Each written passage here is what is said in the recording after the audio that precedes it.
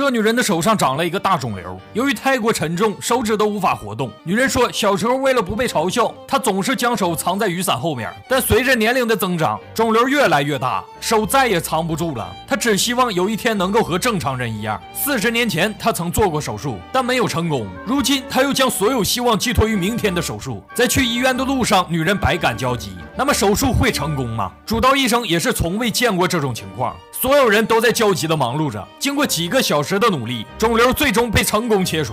而接下来就是植皮的过程。医生说，这个操作非常困难，必须先将静脉和动脉连接在一起。植皮开始了，节目组被请到了手术室外。随着时间一分一秒的过去，手术室的门终于被打开，主刀医生宣布手术成功，女人被推到病房观察。看他的样子，开心极了。经过几个月的恢复，他的手已经接近正常。女人喜极而泣。半年后，节目组来到他家，我们发现他的手已经是正常大小，还可以戴上橡胶手套做泡菜，一般的家务活也都能干。女人说：“从来没想过自己还能过上正常人的生活。”